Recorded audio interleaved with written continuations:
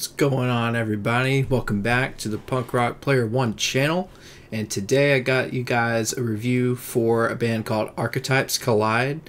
This is a new band for me. I just discovered them. I've been kind of looking at the latest releases, and this popped up, and I'm glad it did. Uh, it's pretty good. So um, let's go over the track reviews. So basically, starting with Parasite. Um, it had some Weedly Weedly riffs at the beginning, which was pretty cool. I, I kind of learned that term from uh, the punk rock MBA, um, Finn McKenty. Uh, I can definitely see why it's called Weedly Weedly, but it has a lot of those in this song. Uh, the vocals, to me, in my opinion, for being a first listen for this band, it sounds a little bit like a mix between like I don't know, like if Fat Mike from NOFX was screaming and uh, a little bit of Chad Kroeger in the singing part. And later, like when there's clean vocals introduced, it kind of sounds a little bit like, uh, and this is kind of a general description because a ton of people sound like Chester Bennington when doing clean vocals, but kind of sounded like Ch- Ch- reminded me of Chester Bennington from Linkin Park with the clean vocals in a couple of these songs. But Parasite in particular is mostly uh, like a heavy song, like a heavy hardcore ish riff riffage song, and um, it doesn't. This song really doesn't stick out to me that much, but it is very good. Um, it's not one of my top five, but I would definitely listen to this again. Parasite's very good.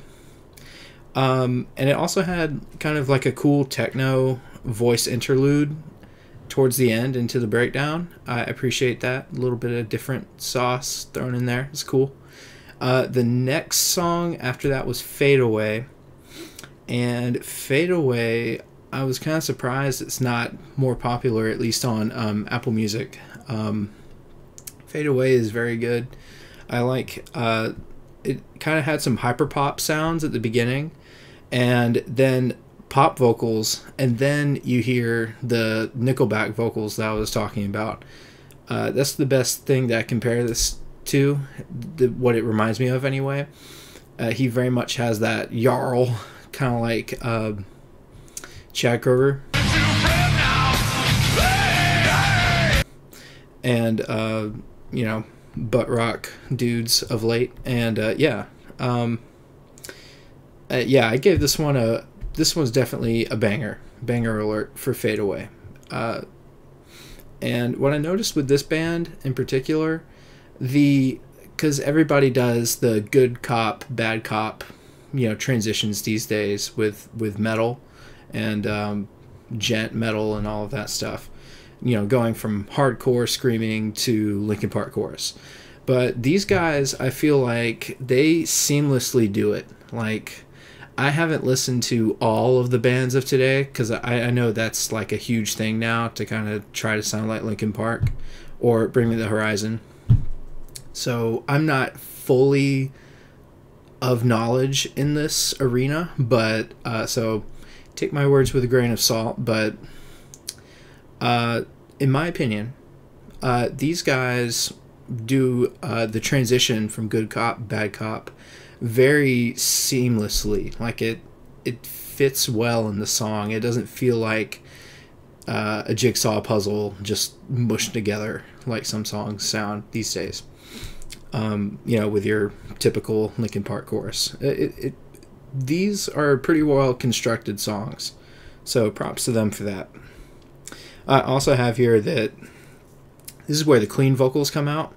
Very much uh, kind of reminds me just this is a compliment to the singer, but the kind of vocal melodies and tones that he uses, it very much with the clean vocals sounds like Chester Bennington, um, which is cool. Uh, I'm always down for that. And uh, yeah, so this band, I, I, don't really know much about this band, but it, they might have multiple vocalists, or maybe this guy, when he sings, just sounds like multiple different people which that would be interesting. But I'm guessing there's a clean vocals guy and the Nickelback guy that does screaming too. Pretty interesting.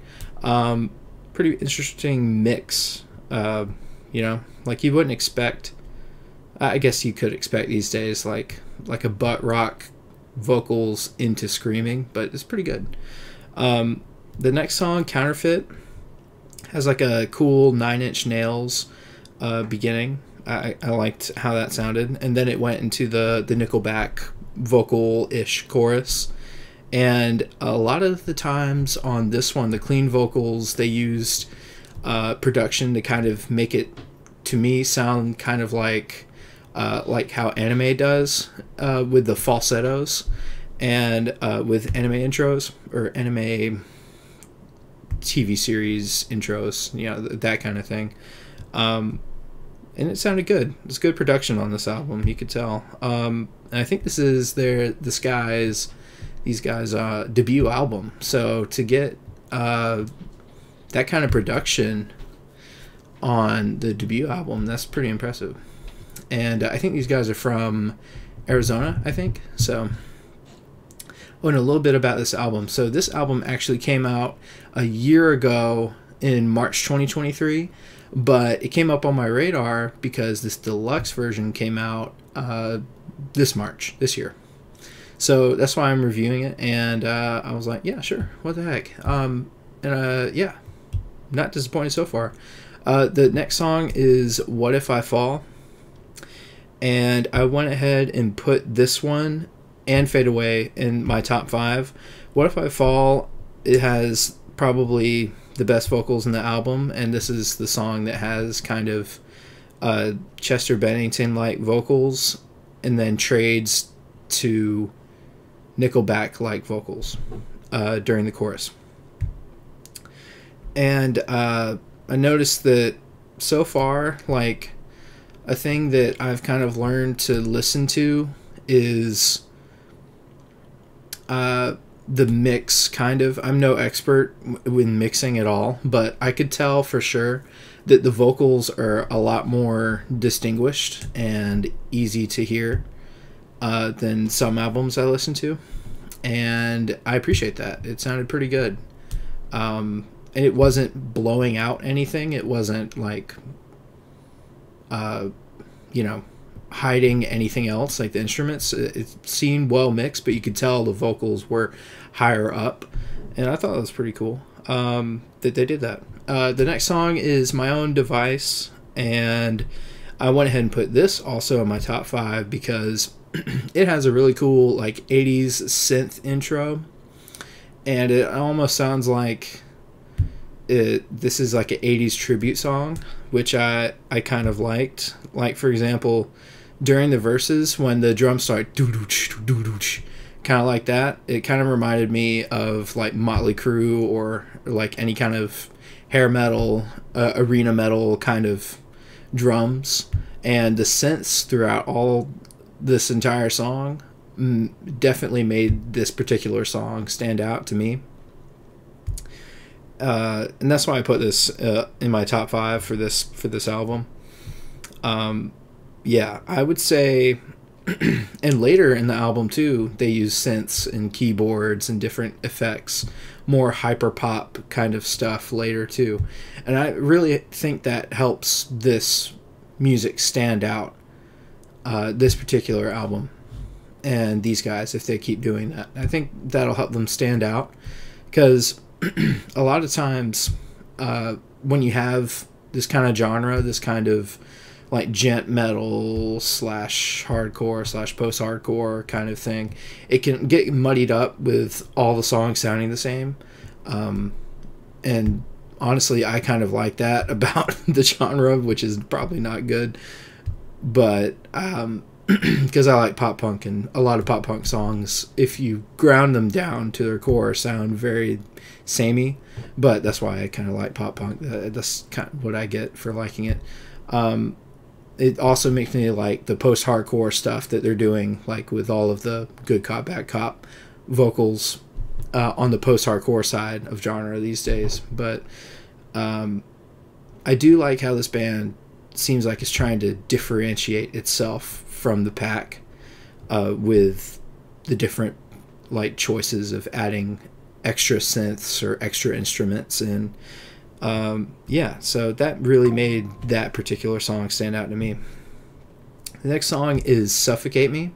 This is more of your typical um, faster post hardcore song, uh, and it's pretty good. Um, I even noticed, to me, in my opinion, uh, his vocals kind of had like a Slipknot kind of uh, like pattern um, in the verses, which I thought was cool because I, I do like Slipknot. Um, so yeah, this this song was pretty good, and it has another nice uh, kind of Nickelback chorus, uh, which I thought was cool. Um, yeah, and after Suffocate Me was Destiny, and this song uh, definitely not my favorite of the album, but I understand its merits. It's got very good singing vocals, nice falsetto voice actually, and uh, toward the end of the vocal when he's singing. Um,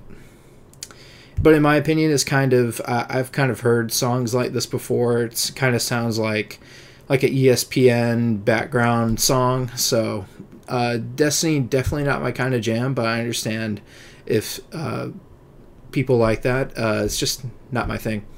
Um, yeah, probably my least favorite song on the album. But uh, after Destiny, uh, everything else picks up right where Suffocate Me left off, in my opinion. So that's good. Uh, the next song uh, is Deep End.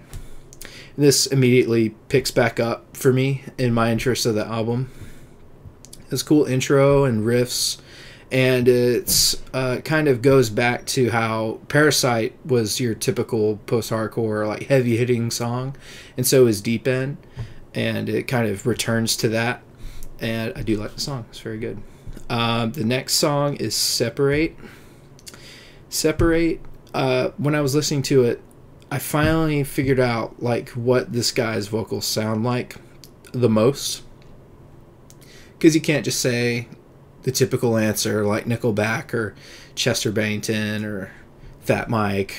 You know, you got to pick something more specific. So to me, this song really showed that he sounds a lot like the Beartooth vocalist. Uh, I think his name's Caleb Shomo. But yeah, this definitely sounds like a Beartooth song, uh, especially from the most recent album um, from Beartooth. And uh, yeah, it's got it has a very good chorus. That's kind of typical with this album so far. It has cool synths as well in the song. And yeah all the instrumentals in the song i would say is the best so far. Uh, i really like i really did like how separate sounds. It also had a cool breakdown. It kind of had everything. Uh, the next song is paranoid and paralyzed i'm surprised actually separate didn't make my top five but it didn't but um, we'll go over that later so paranoid and paralyzed is the first time I think that we hear acoustic guitar in this album, and this is uh, number ten. So that's kind of interesting. Um, and it also had a lot of cool electronic drums, trap drums, kind of thing, uh, pop mix. Yeah, mostly pop metal, and it also had good lyrical play. And this this song kind of shows off their genre bending. And uh, yeah, um, that's what made this song stick out to me. Uh, it kind of flexed their genre bending. And the next song, Silence, uh, kind of goes on the heavier side. Uh, and the feature was very good. I think the feature mostly did clean vocals and then maybe did some vocals during the breakdown, I think. Uh, yeah, they, they stuck the landing with this. is pretty good. It's Again, it's uh, pop tinged metal has good clean vocals and it also for some reason the drumming sticked out to me in this track I, I liked it and the next song love again is another more pop kind of and tasty like tasty instrumentals in my opinion like clean guitar lead a lot of times and distorted rhythm guitar during the verses and then again they had more synths so these guys have some good synths going on they should keep doing that in future releases. Whatever whatever that instrument is, I'm, I'm not an expert, but like I think it's mixture of synths and keyboards. They should keep that going. It sounds very good. Uh, yeah, and in my opinion, this song kind of fit the structure or the sound of like a emo song or a the most like punk slash emo sound. So that will automatically get higher uh, support from me, obviously. So uh, Love Again is in my top five. And then the next two songs I think might be the deluxe songs. Might have included Love Again, but I think it's mostly Ghost and They Don't Know. Uh, Ghost is has a very good catchy chorus, more of a slower song, and then towards the end they they still have a breakdown and it still has some edge to it. So still kept me interested. Uh, very good song. Uh, the next song, uh, last one actually, They Don't Know, um, has hyper pop sounds at the beginning. this is the best way I could describe it. It's like that's the best way I could describe it.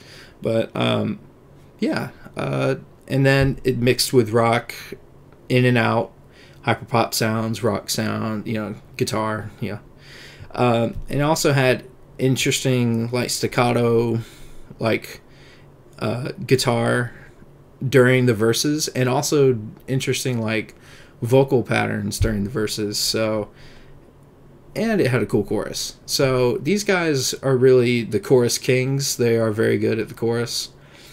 And okay, so let's go through which are my top five. So Fade Away is in my top five. What If I Fall is in the top five. This is in no particular order. My Own Device is number three. And Love Again. And I didn't choose a fifth one. I think the fifth one is going to be Separate. So those are my top five tracks. This is a very good album. Go listen to it. These guys are new, relatively new. And I my final score is oh and spoiler alert i'm switching my uh, grading scale because you can get kind of more in-depth scores with a 1 to 10 scale. So, with that in mind, I give this album, this deluxe album, a 8 out of 10. Yeah, uh, very good. I feel very good about that. I mean, 8 out of 10 for your debut album, that's pretty good, in my opinion. Uh, so, yeah, go check these guys out, and I will see you guys later.